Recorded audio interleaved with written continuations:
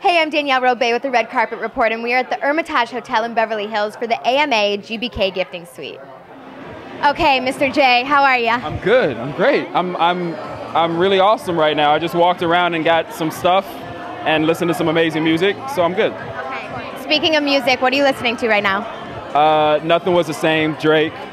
Um, I listen to Fun a lot.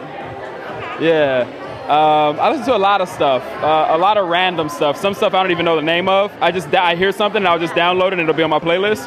Have you been into, um, been to any good concerts lately? Um, I actually saw Fun at the Greek earlier this summer, or right at the end of the summer. So um, that was the last concert that I went to. Yeah. Okay, so everybody knows your character on the game. You're honestly a fan favorite this season, but I want to get to know you. Okay. Okay, so we're gonna play a rapid fire game. Are you ready? I'm ready. Okay, your biggest fear? Fear. Fear itself? Fear. Have Yeah. you ever seen Coach Carter? I have seen Coach Carter. You know that quote? Young man, what do you fear? Okay. That's hilarious. Right? Okay, the first CD you ever owned. Nope. Nope. Come on. Nope. That's the way love goes. Uh, Janet Jackson, where she was like this. What was that album? You know what I'm talking about? Of cou- Everyone knows that album. I don't know what it was called. Was it Escape? It shouldn't be the first album that a, that a boy owns. But she was so she looked so good, I and think she was kind of naked. so you know what I mean? Yeah. Okay, um, the theme song to your life.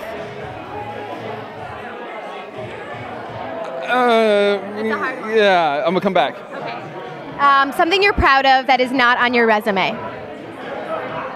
Um, being a good son, a good friend. What does that mean to you? Uh, I think just being there for my family and for my friends whenever they need me. Being someone that'll listen and being someone that will uh, hopefully give them good advice.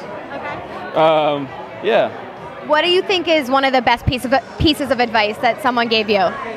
Terrence Howard, uh, when I did movie 43, he said, uh, always go with your gut. Um, your gut will be right 99% of the time, and it's it's it's you have that feeling that that that quick jerk reaction, that feeling for a reason, and uh, you know as long as you follow that, your your career go where it's supposed to go. Is your career going where you want it to go? I hope so. No, I, it like is. it's on a good track. It is. I've been very, I've been very uh, blessed and lucky, and I've, I've had a really uh, amazing opportunity and a really amazing ride the last like year and a half. So yeah, Well, I can't wait to see where it goes. thank you very much. Thank you. Too, Actually, It's exciting. it's very exciting because you don't know, Yeah. but you just have to like just give. You know, you just have to let go. That you Go with your gut. just go with your gut. Terrence Howard. Thank you. Thank you. Thanks so much for watching. If you like this video, click like. For more, subscribe. And leave me a comment below and let me know what your favorite song of the year was in honor of the AMAs. Shy's going to play us out.